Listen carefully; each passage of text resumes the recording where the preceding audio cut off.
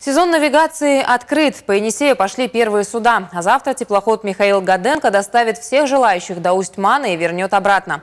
Цена билета осталась на уровне прошлого года и поднимать ее не собираются. Прогулка обойдется в 172 рубля в одну сторону. А с июня красноярцы водным путем смогут попасть под Каменную Тунгуску и в Дудинку.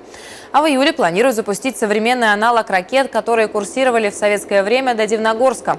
В Красноярск прибудут два теплохода на электрической тяге. Для них уже подготовили две станции для подзарядки. Одну в Красноярске, вторую в Дивногорске, выше причала.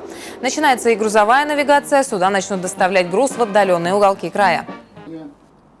Грузовой флот пойдет по притокам от Каменная, Нижняя, Курейка.